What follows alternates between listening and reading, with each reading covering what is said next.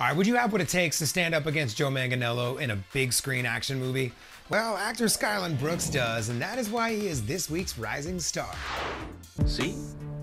It's in our blood.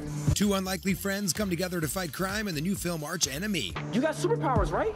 Come on, I just want to hear your story. Skylan Brooks playing a teenager who crosses paths with a man claiming to be a superhero from another dimension, played by Joe Manganiello. Their whole journey is set out from just genuine desires that they want to accomplish in life. You know, they kind of just have this hit list mindset all of a sudden out of nowhere to just take on the world. The young actor learning from Joe, who also produced the film, and sharing behind the scenes moments working with his famous co star. He's a beast. He's he's 100% invested and he wants to understand the character, and I do too. So it was easy to wrap myself into that kind of energy. I hear the radio play, it's on the radios. And beyond his latest acting role, Skylan also hopping on the mic to release upcoming new music. I was doing music before, but I never really took it seriously. But in this EP itself, it's uh, kind of like a hip hop jazz fusion with elements in there, and it gets a little experimental too. So I, I really can't wait for people to hear this. It's it's different.